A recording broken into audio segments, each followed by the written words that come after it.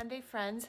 Um, if you're anything like me, the weekend flew by just way too fast, um, but it's a good way to kick off a Monday with a great deal. So I wanted to share something with you today um, that's on sale, one of my favorite kinds of things to use when decorating our home. All right, so salvage decor, architectural salvage, anything like that is my very, very favorite kind of decor to use in our house. I have it everywhere, and um, so I'm pretty excited that Decor Steals brought back um, this corbel set that is on sale today.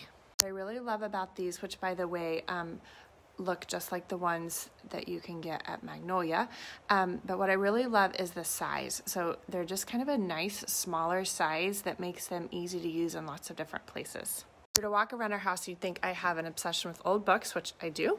Um, and corbels are a great way to kind of set those off. So I would use a setup like this on a buffet, a dresser, bookshelf, coffee table, lots of different places to make a really great vignette with a pair like this. Another way I like to use um, salvage like this is to layer it into a vignette. So here I stacked it on some books.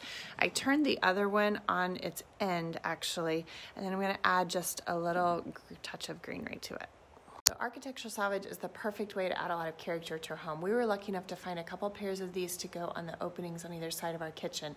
But if you swipe um, to the next picture, I'll show you how we use the Decor Steals corbels in a little bit smaller opening space. They're just the perfect size.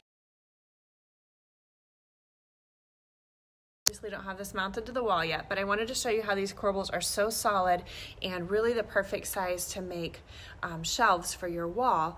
And so this is just another great way to use salvage pieces to add a lot of character um, and interest to your home.